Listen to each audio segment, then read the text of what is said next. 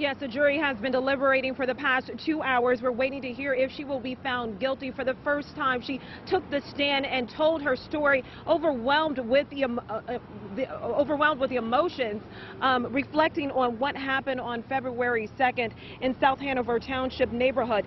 She says she gave out 23 commands for David Kassick to show his hands. She said even after tasing him, he did not fully comply until she shot him twice. During, a, during her testimony, she cried at times and even had outbursts saying she was sorry and, quote, I never wanted this to happen. If I could bring him back, he would be here. Prosecutor John Baer says he is concerned Mearkle's emotions could play a part in the jury's decision.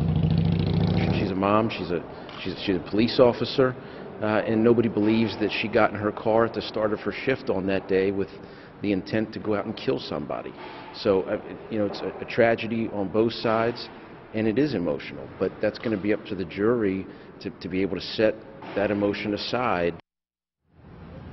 Now, the prose prosecution believes that not complying is not enough to kill a person. The defense says this was out of self-defense and that Mearkle believed that Kassick was armed, which he was not armed. Mearkle is charged with manslaughter, uh, voluntary manslaughter, involuntary manslaughter, and murder. Reporting live in Harrisburg, Portia Johnson, News 8.